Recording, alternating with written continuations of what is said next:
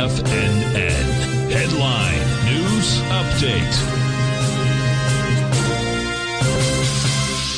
Good afternoon, folks. Steve Rhodes coming to you live from the shores of very warm Delray Beach, Florida. This year 4 p.m. update, and we had a rally day. All the U.S. indices that we track, all the sectors inside the S&P 500 closing higher. Dow up by 484 points, S&P 62, Nasdaq 100 239, Russell 6, semis 97, trannies up 208. Gold right now trading up 1060 out at 25.35. Silver's up 49 pennies. Light sweet crude up 91 cents. The uh, natural gas is down 13 pennies. 30 year Treasury basically flat, up six ticks. Print out at 126.02. Let's figure out what all that means by well here. First thing. First things first, you got the spot VIX that closed below. Uh, it's had a one-day rate of change of minus 12.73 percent. We get that uh, rate of change below minus 10 percent. We put a green arrow on the uh, bar. That's what I'll do next, and that is a the reason for that is that typically is an initiation move to higher price out there. So at the uh, oh, you're seeing the wrong screen. Wow, that's weird. Sorry, sorry about that, folks.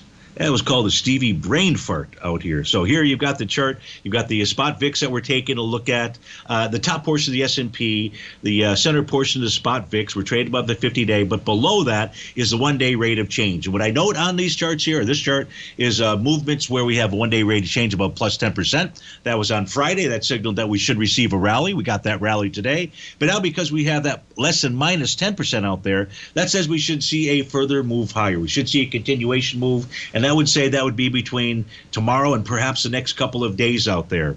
Um, if we take a look at the um, Let's take a look at the, what I use here for my morning market update. If you take a look at the ES Mini out here, resistance is going to be at the 5516 level. That's the bottom of its daily profile. We're looking for the spot VIX to pull back to its 50-day exponential moving average. That would be at 1736. The NQ found support where it had broken out from in its uh, first leg to the upside. That was at 18383. A further move higher might find resistance at the 19326 level. U.S. dollar index has a T, uh, TD9 count bottom. Uh, price trading inside a new profile. Your resistance level here is 101.85.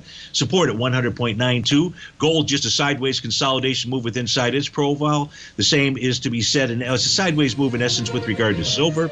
Uh, if we take a look at Light Sweet Crude, it needs a bullish reversal candle to form a buy the D point pattern. And with the end, uh, natural gas closing below profile support, odds favor that it goes and it targets the swing point from August 28th. Folks, uh, have a uh, wonderful evening out there. Uh, tune in tomorrow morning as we begin our programming at 9 a.m. My show, The Trader's Edge, starts at 11. Have a marvelous Monday and take care.